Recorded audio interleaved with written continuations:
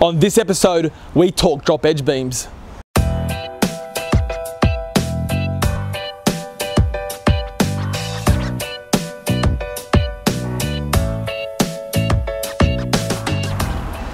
Okay, so here we have the deepened drop edge beams.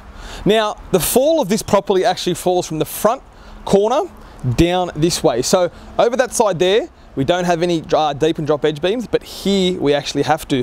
Now, what I wanna do, I wanna go through a list of things on how the extra is calculated and why there is an actual extra when the uh, drop edge beams are actually uh, calculated. Alex knocked the camera there, so it threw me off a little bit, but we're still going.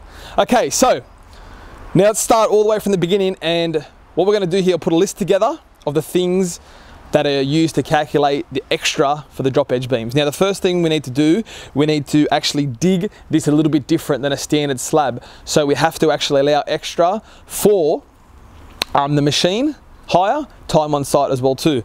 Um, then also things, we've got things like the concrete. So we'll have to have extra steel We'll have to have extra concrete and there'll also be extra labor for the concreters to actually form this up. Um, and extra concrete itself. I think I did mention that, but I said it again. Um, also two bricks. So we'll have extra bricks. Now, as you've seen before, there was only two brick down. Now here, we potentially have five to six extra courses of bricks. So one, two, three, four, five.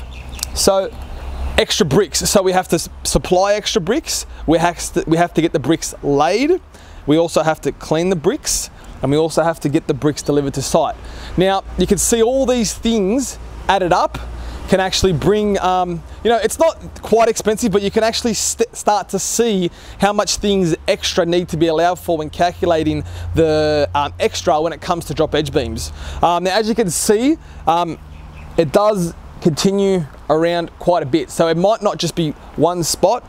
You may have one whole side of your house. You may have just the back. Sometimes this may actually go around the whole house. Uh, now the way you find this out is this is when you get the contours or the levels done on your property. Um, so generally you may be getting your tenders done just they might assume that it's a flat block and then you'll be getting some site testing done. So this is what happens when you get your contours done. We can actually find out the levels of the property and work out where we need to have the drop edge beams. So I hope that list helped you understand how we calculate the extra of the drop, drop edge beams and what actually goes into it. Now it is starting to rain, so before it gets too heavy, we will sign off. Now guys, if you know anyone who's getting extras for drop edge beams or doesn't understand the deepened drop edge beams and how they're calculated, um, tag them in the comments below because it's a very interesting topic for them to understand about what goes into it. All right guys, thanks for joining me on today's episode of Simone TV. Thanks for watching, bye for now.